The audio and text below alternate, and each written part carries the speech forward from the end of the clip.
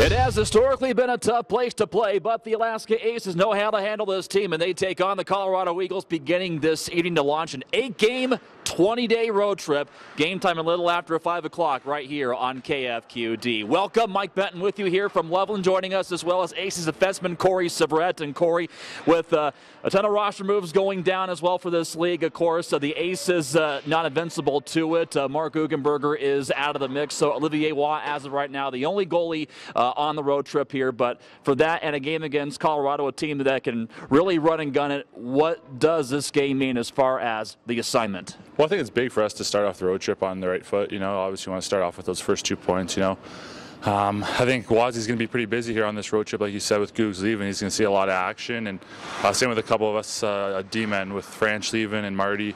Um, it's going to make for a lot of ice back there, and this elevation change and stuff stuff's going to make it tough on the lungs. So you just kind of prepare yourself as best you can today, and, and be ready for tonight. The first thing that you think of when you play the Colorado Eagles and the firepower they usually put out, what is it?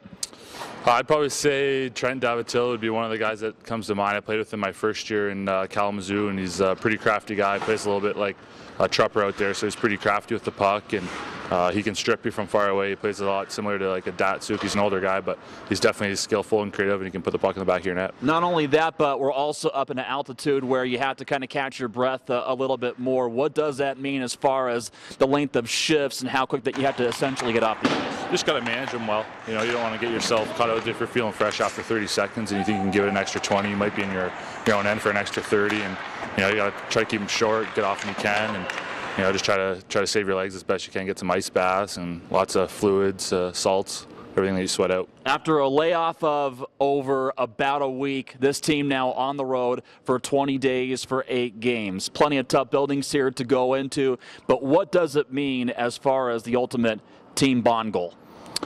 Um, I would say that it's it's going to make us a lot closer. You know, you can't really get away from them too far. As soon as you leave the rink, you're you're having a pregame meal together, and then you're all uh, back in your hotels napping uh, with your roommate. So you can't really get get too far from each other. But I think it'll be good for us. You know, it's you need that at the start of the year before Christmas. A nice three-week vacation is going to be uh, pretty ideal for us to get uh, close for the second half of the season. There, plenty of that routine going on. Definitely beginning tonight. Corey, thank you. Good luck. Thanks, Mike.